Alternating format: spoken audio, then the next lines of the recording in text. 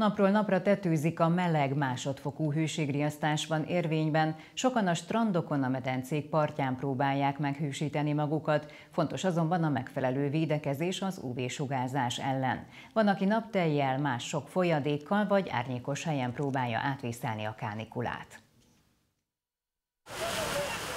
Sokan a medencében hűsölve próbálják elviselni a napról napra nagyobb hőséget.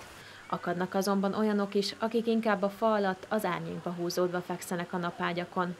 Nem véletlen tehát, hogy már kedd délelőtt rengetegen álltak sorba a Miskolc-Tapolcai barlangfürdő bejárata előtt. Mindenki a meleg elől menekült.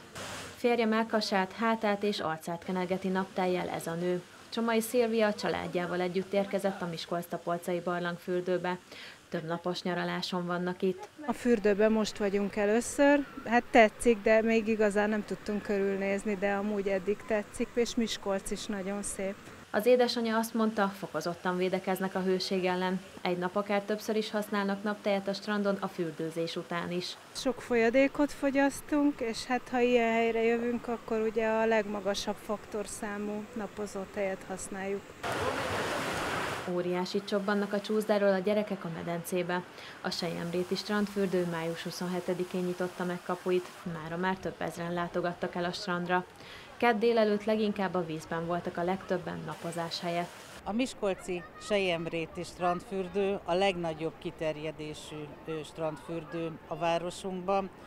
Több mint három hektár nagyságú, nagyon sok medence van, ez a strand a családok strandja. Úgy gondolom, hogy mindenki megtalálja a saját kedvére azt az időtöltési lehetőséget, amely leginkább szükséges neki. Fodorné Kerekes Andrea négy hónapos babájával tölti az idejét, épp karjaiban altatja őt.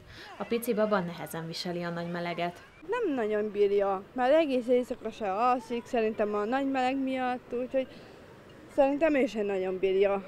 És hogyan védekeztek a napsugárzás ellen? Hát naptejtől, meg a sapka, meg ilyenek. Egy házi orvos szerint 11 és 3 óra között lehetőleg senki ne tartózkodjon a napon. Különösen a gyerekek, az idősek, a szív- és érrendszeri betegek. Sőt, fontos, hogy akik a strandokat, a vízpartokat választják a hőség ellen, soha ne ugorjanak felhevült testtel a hideg vízbe. Ez ugyanis életveszélyes keringési, szívműködési problémákat okozhat. Ez mindig fokozatosan kell bemenni a vízbe először is, másodszorban pedig itt is be kell tartani, hogy lehetőleg 11 és délután 3 között nem kell fürdőzni, hanem előtte és utána. Akik pedig mégis a napon szeretnék tölteni az idejüket, azoknak tanácsos megfelelő mennyiségű és minőségű fényvédőkrémet, kalapot, fehér és világos színű ruházatot viselni és elegendő folyadékot fogyasztani.